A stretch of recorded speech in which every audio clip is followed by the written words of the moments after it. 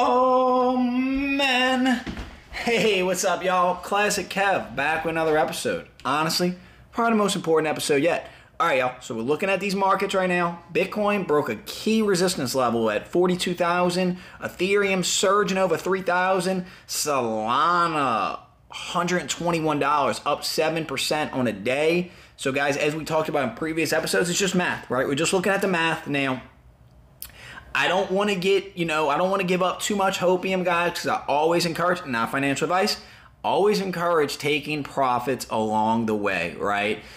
But I'm gonna go over some data. I'm gonna go over some news stories of why I think that it's definitely bullish news. It, it's nothing but bullish news. But but as always, guys, could be a bull trap. So plan accordingly. So um, let's go ahead. Let's let's do some TA on this episode. Oh man, look at the RSI levels. The consolidation period is over. No, I'm just kidding. We're not we're not doing TA. TA's boring, guys, and it's it's it's it's right only like half the time. So no TA today. But but I'm gonna show you the most bullish story I have on the day right here.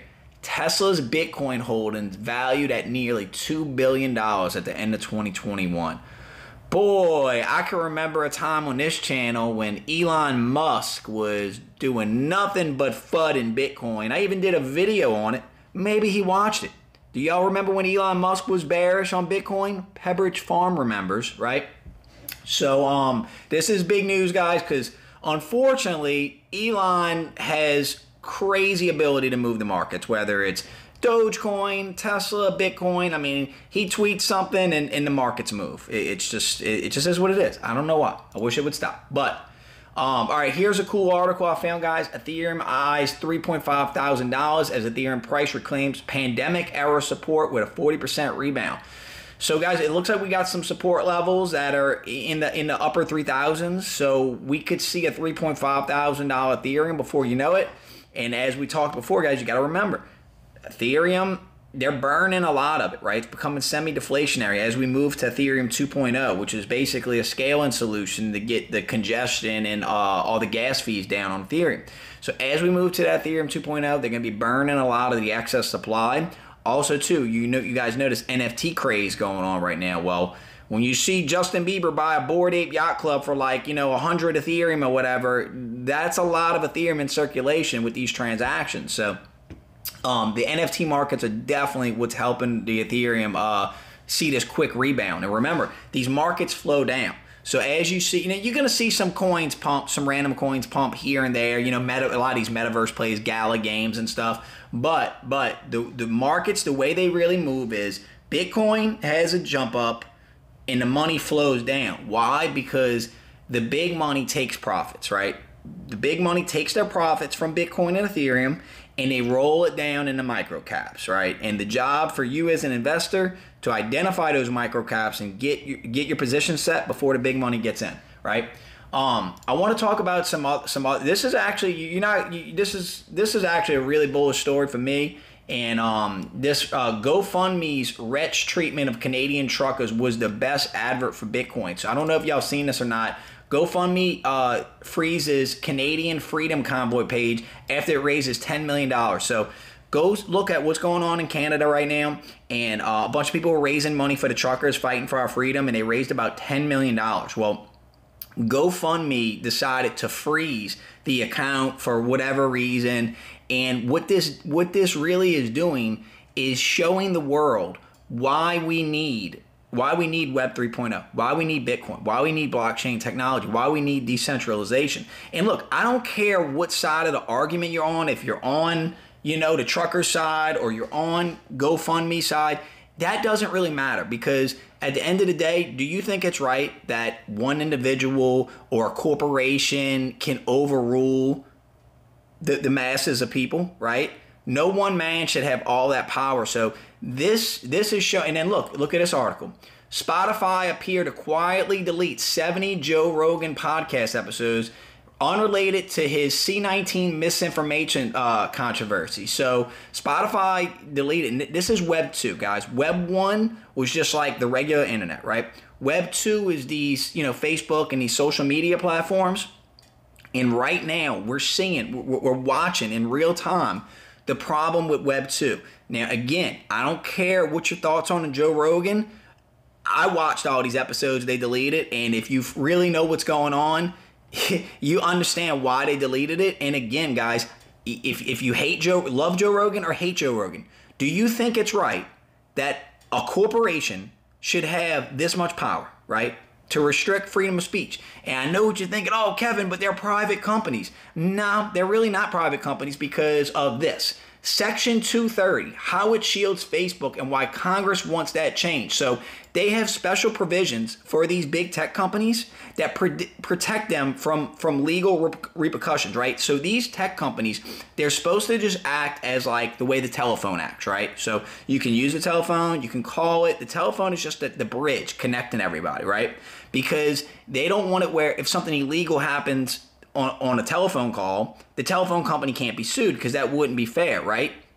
That's the way Facebook and these big tech companies were supposed to be. They were supposed to just be ways of connecting us, not uh, not uh, have biases. And, and again, I don't care what side the aisle you're on. Just ask yourself a question. Even if you're on Spotify side in this agreement, do you think it's right that corporations in big tech should be able to silence individuals, right?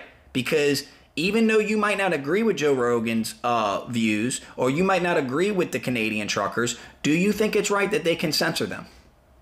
Right? So what this is doing, these Web two legacy systems, and look, look, look at this article. It, it, it, just, it just, it's all happening at once. It's almost like it's playing. It's pretty crazy. Facebook is shifting its Libra cryptocurrency plans after intense regulatory pressure. So Facebook's basically scrapping their their crypto idea, right? They're they're moving in a different direction.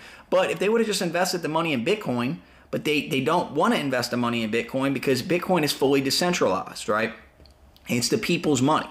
So what we're watching happen in real time is the legacy systems, the Web 2 legacy systems implode themselves and new systems will evolve well hopefully will evolve from this. And the new systems will be completely decentralized systems. So where we can where we can have freedom of information. And there is there is nobody to attack right? Because basically spotify is getting attacked for these views and spotify's like look we're just a platform right? We you know in, in, in a lot of times they cave to the mob right? So with a decentralized spotify there's no one to attack. The program would just exist. The information would just exist. And at the end of the day, guys, we have freedom of speech. And if these if these big tech companies don't like this, then they they, they should get rid of this section 230, right? Because they should not have biases. That you know, Republican or Democrat, it's not right. And I think all of you watching this will probably agree with that. But again, guys, this is not a political channel. I'm getting off topic. So let's move on. So um super, super bullish Polygon Matic news. As you guys know, Polygon Matic is one of my largest holdings.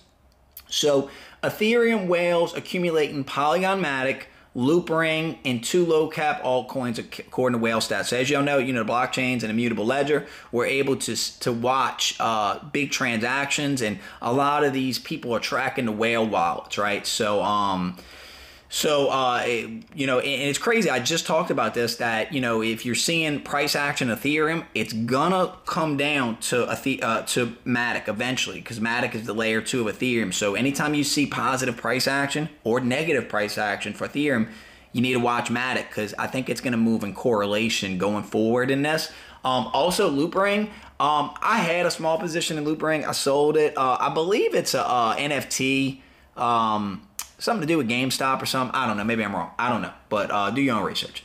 So positive, positive news for Matic. Really awesome. All right. And it's crazy. I just, I just, uh, I just checked out this article. This article is actually a little older, I think. Kim Kardashian and Floyd, Mather, Floyd Mayweather sued over alleged crypto scam. The celebrities promoted a, a, a shitcoin. It's called Ethereum Max before its value fell 98%. And um, looks like Paul Pierce was involved in this too. Um, and again, guys, I, I, that's what I was saying last episode with the Super Bowl coming up.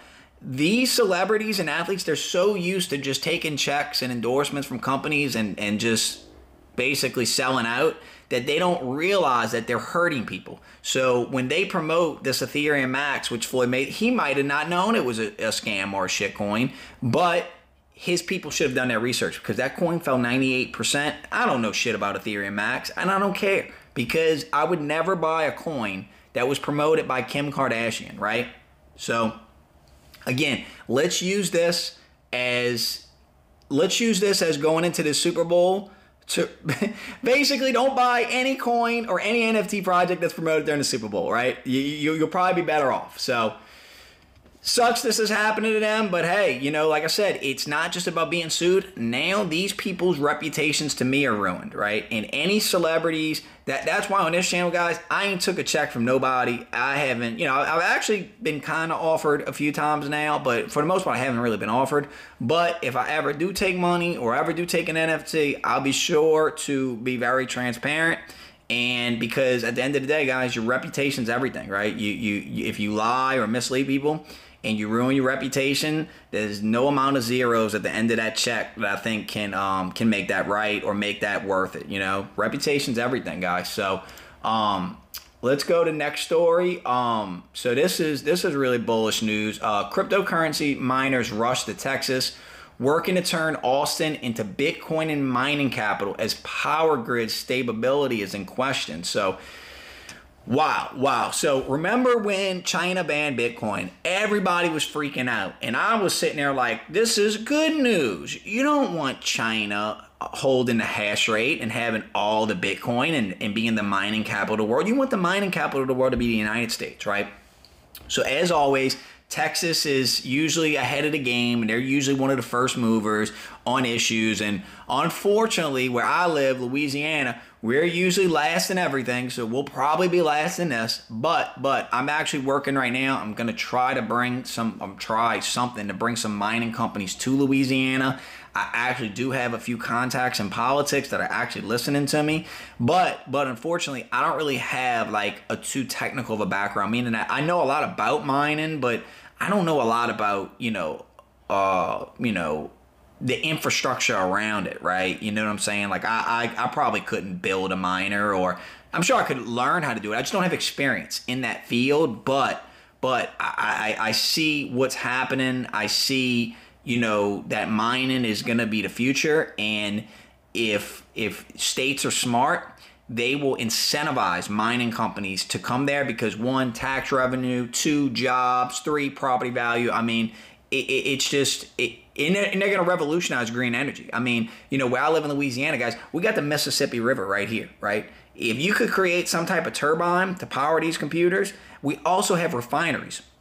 So refineries have uh, uh, excess that runs off in, into a flare, right? And it burns off the excess. So when you're flaring off that gas, that that byproduct of what they're producing in a refinery, that and that's just wasted energy. So what companies are doing, they're hooking up to those flare gas emissions and they're so it's not green energy but it's energy that was wasted otherwise and they're using that to mine crypto. So that could 100% be done here. It's just that getting the the the the brains the money and the backing of uh of uh you know the, the local leaders in order to do that. So that's kind of what i'm working on behind the scenes but um anyway so uh awesome article i just seen on on uh, up on blockworks the upside is huge. Trade TradFi talent flocks into cryptos. Professional ranging from college graduates to 30-year finance vet- veterans are pivoting into crypto. A source at top global uh, capital market firm said. So, guys, so the money is in crypto, right? The money, and if you're somebody and you're looking for a job, or you, you hate the job you're at, and you're into crypto, guys, you could get a job in this right now. You know, you could learn, um, say, Solidity that's the programming language used for Ethereum. You can learn Solidity on YouTube videos, right? And it does, if you're not into programming, there's a million jobs right now in the crypto ecosystem that you know, if you made it this far in the video, you're probably smarter than like 90% of the country when it comes to crypto because nobody knows anything, right? So you kind of got a head start. So if you're some like guys, there's people they pay people to be moderators on Discord channels, right? On NFT and Discord, they're paying people. So there's so many jobs in crypto. You just got to be creative and you really got to market yourself. So I would definitely be somebody looking for a change of career. I would check this out because you could. This is this is six figure a year jobs, guys. Easy, easily. Um, then uh, last thing I want to talk about, guys. JP Morgan, uh, uh, they posted this Bitcoin beats gold in scarcity, dur- durability, profitability, fungibility, uh, divisibility, verification, and censorship resistance. Remember, that's what we were talking about with the Web 2 to Spotify, you know, debacle that this is completely decentralized. There is no central point of authority. There is no there is no overreach from anyone. It just exists. It's the people's money.